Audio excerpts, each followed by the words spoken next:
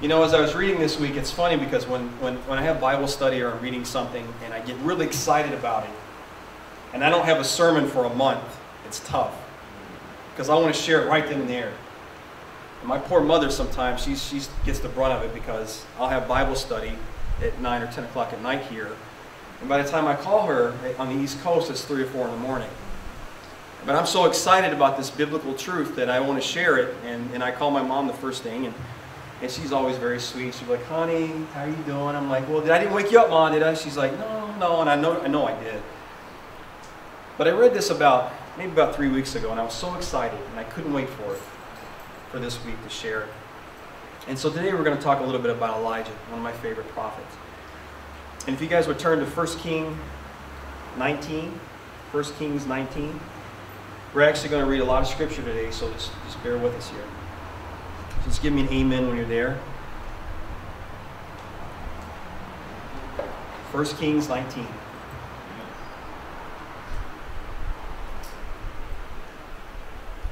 I'm going to go ahead and start off with prayer. Dear Heavenly Father, we want to thank you so much for your mercy.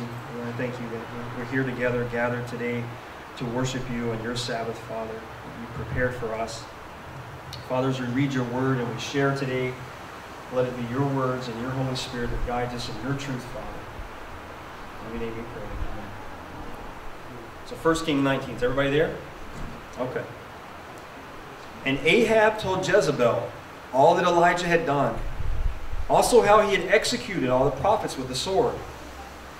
Then Jezebel sent a messenger to Elijah, saying, So let the gods do to me, and more also, if I do not make your life as one of them by tomorrow about this time. And when he saw that, he arose and ran for his life and went to Beersheba, which belongs to Judah, and left his servant there. But he himself went a day's journey into the wilderness, and came and sat down under a broom tree. And he prayed that he might die, and said, It is enough. Now, Lord, take my life, for I am no better than my father's. Then, as he lay and slept under a broom tree, Suddenly an angel touched him and said to him, Arise and eat. Then he looked, and there by his head was a cake baked on coals and a jar of water. So he ate and drank and lay down again. And the angel of the Lord came back the second time and touched him and said, Arise and eat, because the journey is too great for you. So he arose and ate and drank. And he went into the strength that he went in the strength of that food forty days and forty nights, as far as Horeb, the mountain of God. And there he went into a cave and spent the night in that place. And behold, the word of the Lord came to him. And he said to him, What are you doing here, Elijah? So he said, I have been very zealous for the Lord God of hosts, for the children of Israel have forsaken your covenant, torn down your altars, and killed your prophets with the sword. I alone am left and they seek to take my life. Then he said, Go out and stand on the mountain before the Lord. And behold, the Lord passed by, and a great and strong wind tore into the mountains, and broke the rocks into pieces before the Lord. But the Lord was not in the wind. And after the wind, an earthquake, but the Lord was not in the earthquake. And after the earthquake, a fire, but the Lord was not in the fire. And after the fire, a still small voice. So it was when Elijah heard it. He wrapped his face in his mantle and went out and stood in the entrance of the cave. Suddenly a voice came to him and said, What are you doing here, Elijah? And he said, I have been very zealous for the Lord God of hosts, because the children of Israel have forsaken your covenant, torn down your altars, and killed your prophets with the sword. I alone am left, and they seek to take my life. Then the Lord said to him, Go, Return to your way to the wilderness of Damascus. And when you arrive, anoint Hazael as king over Syria. Also you shall not, or you shall anoint Jehu, the son of Nimshi, as king over Israel. And Elisha, the son of Shaphat, and Abel Meholah, you shall anoint as prophet in your place. It shall be that whoever escapes the sword of Hazael, Jehu will kill. And whoever escapes the sword of Jehu, Elisha will kill. Yet I have reserved 7,000 in Israel, all whose knees have not bowed to Baal, and every mouth that has not kissed him. Have you ever wondered why God asks rhetorical questions? Why an all knowing God, an omniscient, omnipotent God, would ask something he already knows the answer to? And as I read the story, he asked Elijah twice, What are you doing here, Elijah? And anyone who has children or grandchildren know what those rhetorical questions are like. You hear what sounds like a car crash somewhere in the house. What are you doing? Nothing. What? I just heard something crash and break. What happened? Oh, we were just playing. What were you playing with? And then you find out it takes you like, what, eight times, ten times to actually get to the bottom of what they were doing and what actually happened? And so when we ask our kids questions and they don't answer us right away, we're trying to get to the bottom of it, right? And sometimes it's frustrating. But I've noticed in the Bible that God asks rhetorical questions a lot. God asks questions he already knows the answers to. And there's a reason behind it. There's a reason behind God asking the questions. And it depends on the situation why God asks the questions he does.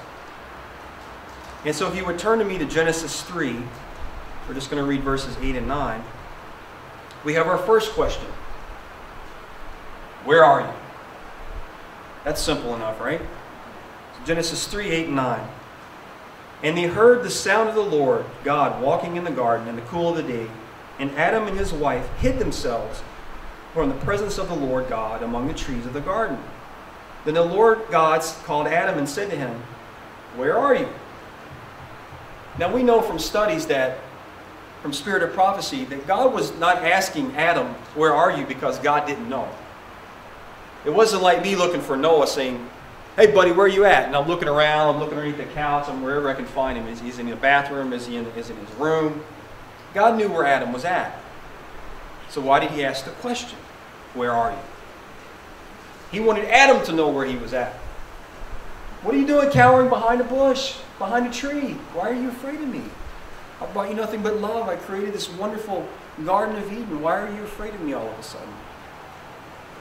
So God asked this rhetorical question, not because God needed to know the answer, but because Adam needed to know the answer. And Adam didn't realize where he was at and realized his fallen state. The second question I found that was interesting is in Luke 9:20. And this is the Lord speaking to the disciples. He said to them, but who do you say that I am? Peter answered and said, The Christ of God. Now, Jesus is asking a question. He knows who he is, he knows he's the Son of God, he knows he's the Christ.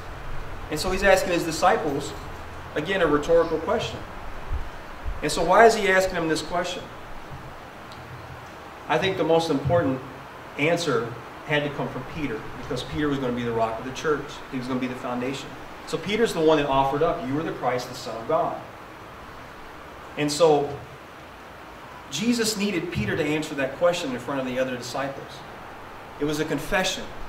It's like you proclaiming Christ in front of your friends or in front of your church or in front of your community. It's like saying, I know that you are the Son of God. So that was question number two. Question number three we found in our text already in 1 Kings 19 9. And there he went into a cave and spent the night in that place.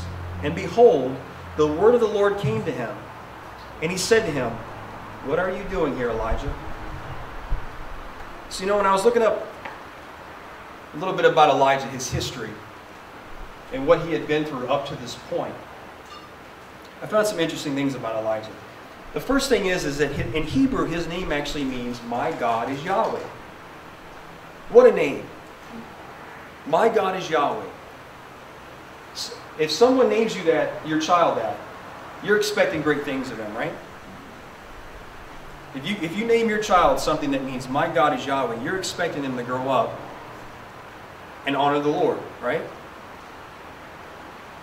The second interesting point I found about Elijah was he was the first, he had the first recorded resurrection in the Bible.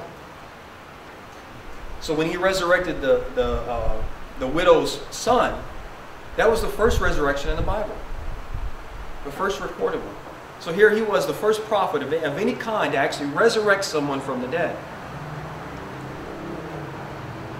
And in 1 Kings 18, we know that he had victory over Baal's prophets.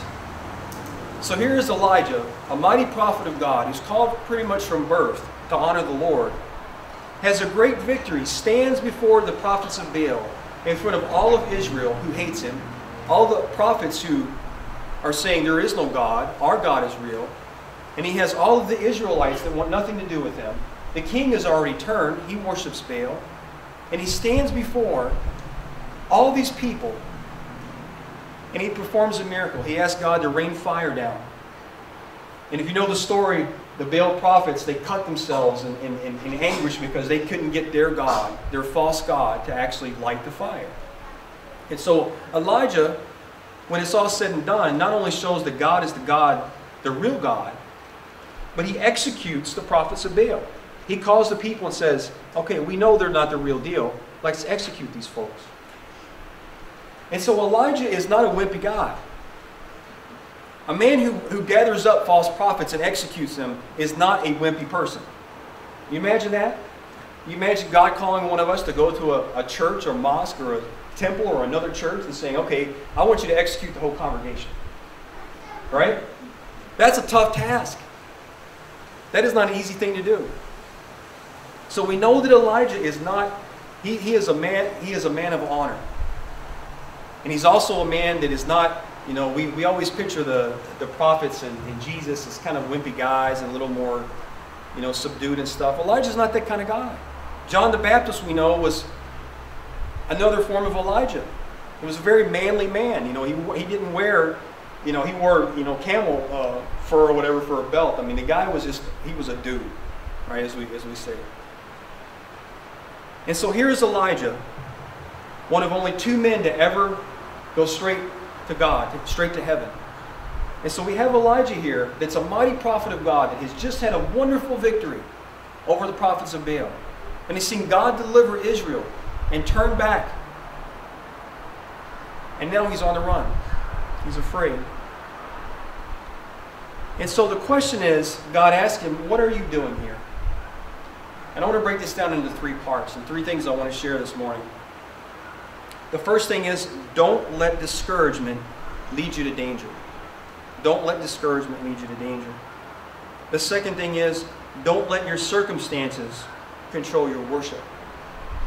And the third thing is don't let your eyes close your heart.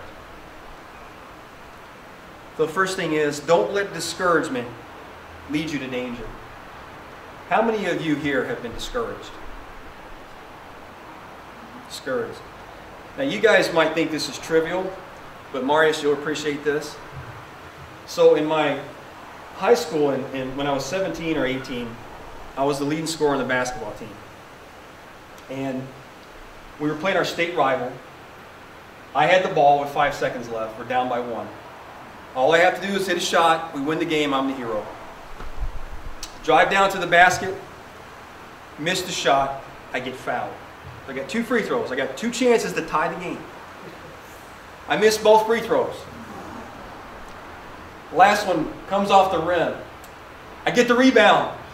I've got a little jump shot just two feet away. I missed a shot. Three chances. At that point, I was discouraged. Very discouraged. Called my girlfriend at the time, broke up with her, and said, You deserve better. I was so bummed out. I mean, I was literally almost in tears. And the only thing that saved me that night was the coach came in and said, Boys, you got another game. You got to play for fifth place. And let me tell you, I was possessed that, that second game. I left nothing up to chance. But I remember feeling so discouraged, and that may seem trivial, but to a 16 or 17 year old kid, that is a very big deal. to miss it in front of the whole crowd, your whole school, every, all the weight is on you, and you miss it. And I was so down and literally almost in tears. And I typically don't cry unless the Yankees lose. So it's a, it's a rare event. So, but the point is, is that I was, I was, I remember feeling so discouraged, and that was the first time in my life that I felt like I wanted to quit. You know what I mean? Like I felt like I, I just, you know what? Just forget this. I'm out. In Matthew 26, 36 through 39. It says, Then Jesus came with them to a place called Gethsemane and said to the disciples, Sit here while I go and pray over there. And he took with him Peter and the sons of Zebedee, and he began to be sorrowful and deeply distressed. Then he said to them, My soul is exceedingly sorrowful, even to death. Stay here and watch with me. He went a little further, or farther, and fell on his face and prayed, saying, O my Father, if it is possible, let this cup pass from me. Nevertheless, not as I will, but as you will. We see sometimes when you get discouraged what happens. You typically want to quit. You want to give up. You want to throw in the towel. You don't want to do it anymore. It's so overbearing, so overwhelming. You feel like the odds are against you. And here we have Christ, the Son of God, feeling discouraged, feeling weak.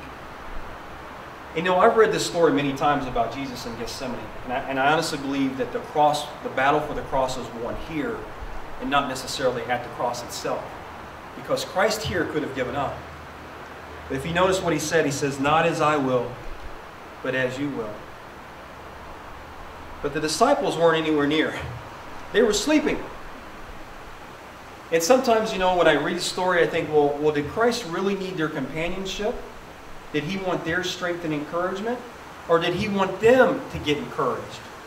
Because we see what happens after the Gethsemane when they were sleeping. They all fell away.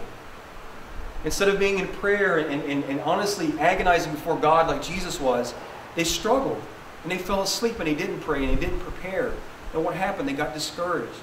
They saw their master brutally murdered on a cross and they fled and they scattered because they were afraid. And that's what discouragement does, is it leads us to danger. It leads us in the opposite place of where God needs us to be. And the disciples found that out.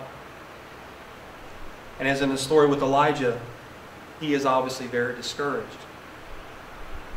But you know the cool thing about the story is, is for instance, when Adam was asked, Where are you? God was upset with Adam, and rightfully so.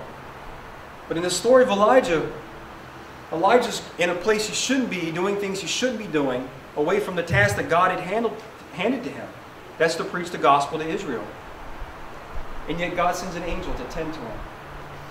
And God leads him up to the mountain to have a talk with him. So even sometimes when we're discouraged and we run away from the task God has given us, God still tends to us. He still watches after us. He still talks to us. So don't let your discouragement lead you to danger. The second thing is, do not let your circumstances control your worship. Job 1 20 and 21 says, Then Job arose, tore his robe, and shaved his head, and he fell to the ground and cried out to God? Doesn't say that. Did he complain that he lost everything? No, it doesn't say that. It says he fell to the ground and worshiped. Now, can you imagine that? Losing everything you've ever had your family, your kids, your job, your wealth, your house, everything. I don't know about you, but I would probably be in tears. I'd probably be on the ground saying, God, why? Why have you done this to me? Have, have I offended you? Have I sinned? But what's, what's Job do? He gets on the ground and worships. Praise the Lord. I lost everything. That's all right. He says, Naked I came from my mother's womb, and naked shall I return there. The Lord gave, and the Lord has taken away. Blessed be the name of the Lord. Wow. When I read that, that blows my mind. I get it cold and I'm whining to God. My boss was mean to me yesterday. I'm whining to God. Why? Why did he make me do so much work? Ah. But here's Job worshiping, worshiping, saying thank you. Amazing.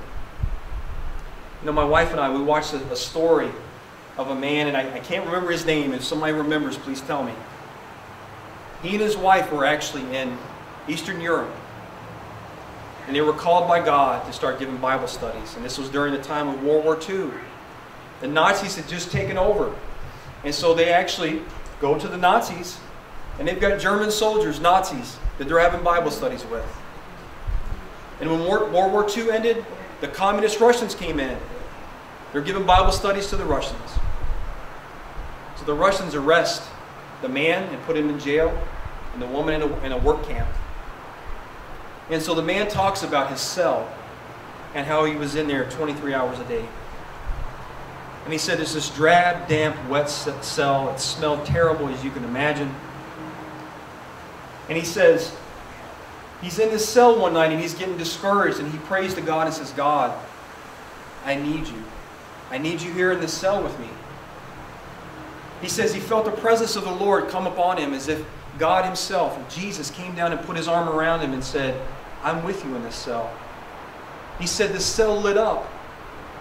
He said it glowed. He goes, it, it looked like diamonds and sparkling gold. And he said from then on, that cell was a place of worship. It was a beautiful place. And what's even more amazing is he goes on to tell he was getting a beating one day, his regular beatings. He's hanging upside down as the guard's beating him. And the guard asked him, How can you, how can you follow this God of yours? And the man says, My God wants me to love you, even though you're beating me. What does your God want? That Russian soldier converted and ended up in the cell next to him. How's that for love? So here he was in terrible circumstances. Could have easily complained to God. God, why am I here? What have I done? I've done everything you've asked me to do. I brought Nazis to Jesus. I brought communists to Jesus. I brought my fellow church people to Jesus. Why am I here? But he worshiped instead. And God transformed that cell into a place of worship. And those Russian soldiers saw that, and many were converted because of that. What a wonderful testimony. So finally, don't let your eyes close your heart. One of the hardest things as human beings, because we are so visually driven, is to look around us at things that are, that we see, and not realize that God is behind the scenes working. If we look at our world today, when I look on, you know, sometimes, sometimes Facebook can be a blessing and sometimes it can be a curse. There's times I love Facebook. I see a, a great verse or somebody sharing someone who got baptized or someone's had a baby or, you know, I enjoy it. And other times somebody posts some terrible news story and I'll check Facebook in the morning. I'm like, why did I check that? I don't want to see that before I start my day. I don't want to see these terrible things in the world. But all around us, we see the terrible things that are happening in the world. And it's hard for us not to be discouraged as Christians. It's hard for us not to look at it and say, where is God? Where is God with this ISIS thing? Where is God with Ebola? Where is God with all these things that are going on in the world? Why hasn't He intervened? But sometimes our eyes deceive us. In fact, most times they do. So here's Elijah in a cave, 40 days away from where he's supposed to be. And God asked him, What are you doing here, Elijah? So I'm going to paraphrase what Elijah was really trying to say to God. He says, God, I have done everything you've asked me to do. Everything. I have had great victories. I have proven the prophets of Baal wrong. I have accused the king of turning against your word. Now I'm lonely, I'm afraid, and I'm discouraged. No one listens. Everyone has turned from you. You might as well go ahead and kill me. And so, what was God really asking Elijah? And I'll submit to you today that God was not asking Elijah in a rhetorical manner, trying to get Elijah to realize where he was at. Elijah knew where he was at. God led him up to the mountain of God so that Elijah would open his heart to God. God wanted to hear what Elijah had to say. It's a confession of sorts. He wanted Elijah to say, I am lonely and afraid. I don't know what else to do. They won't listen. God wanted to hear that Elijah was broken. that he was discouraged, that he was down, that he wanted to give up. Because if we look back in the Garden of Eden, God rebuked Adam and Eve after his question because they were in a place they shouldn't have been and they had sinned against God. But in this case, he wanted Elijah to open up his heart. Because until Elijah opened his heart and told God what was really on his, on his mind and in his heart, he couldn't encourage or strengthen Elijah. And that's the lesson I want to take today is that God needs us to open up to him. God needs us to give him all our hopes and our dreams, our discouragements. God wants us to say, I feel like quitting today. I don't want to go into work. I don't want to deal with this. God needs to hear that. He needs us to be honest with Him. Because God knows, anyways. He knows our heart. Because once we're at a place of honesty, when we can say, God, I don't know if I can, then God can say, I will help you. Until we get to that point, it is very hard for Him to assist us. And the fact of the matter is, friends, is that we are coming to a time when we are all going to be Elijahs. We are a minority in this world, a vast minority. The world is increasingly crazier. It's crazy. I don't watch the news anymore. It is absolutely crazy, the things that go on in this world, the blasphemy that goes on in God's name, the things that people do in God's name that has nothing to do with God. And so we increasingly are going to be more Elijah like. That we're going to feel like giving up. We're going to feel like, you know what? They're not listening. They don't want to hear about the law of God. They don't want to hear the health message. They don't want to hear about a Jesus that saves. They don't care about this stuff anymore. All they care about is TV. All they care about is the things they lust after and, things to buy and things like that. But yet here we are before God and God just wants us to open up to Him tonight. Just to say, God, here's what I think. Here's what I feel. Help me. I know I struggle with this sometimes. You know, I think for the most part, men are probably maybe struggling in this area more than, than women. It's because we're very prideful as men. We want to take it on our own. We want to do it ourselves. And so for Elijah, the man, the prophet of God that had seen so many victories, that had done so many wonderful things in God's name, that had stood up against everybody, was alone in a cave saying, I'm scared. But it's okay, he was in good company. Christ was afraid too. So were the disciples. So have many prophets before him Stephen, Paul, everybody. And so when we have that cave moment when God leads us to a place where he says, what are you doing here? Our response should be open my heart. Open my eyes to what you are doing, God. And you know what? He did that. Because at the very end of the, the scripture we read, he said, I have 7,000 that have not bowed to Baal. 7,000. So what's he telling Elijah? You are not alone. I've got more. You just go back to doing what I asked you to do, and I've got it covered. So, to sum it up, this whole story was about strengthening and encouraging a very discouraged Elijah. That's all it was about. Is God saying, I know you're about ready to give in. I know you're about ready to quit. I know that you're lonely. I know that you're scared. Let's go have a time for a talk. Let me send my angel. He'll feed you. He'll take care of you. You come up and we'll have a little talk. And when you leave, you will be ready to do what I ask you to do. And friends, that's what God wants to do with us today. He is ready to equip us to do the task that He asks us to do. And when we get discouraged or afraid or any of those things, just take time with God. Pick up your Bible and say, God, you know, I've had a rough day. I don't know if I can handle this particular thing. I need your help. Or God, I have a I have a friend or a family member, they don't want to hear about the gospel. They don't want to hear about you. Help me. Help me, help me to say something to them that will win them over. Or Father, our world's crazy. Our country is increasingly more ungodlike. What can I do in my community to make a difference? What can I say or what kind of ministry can I do that they'll listen, that they'll hear your health message, they'll hear that you're a loving, forgiving God? And the thing is, friends, God is faithful. He is faithful all the time. He is ready and willing to help us.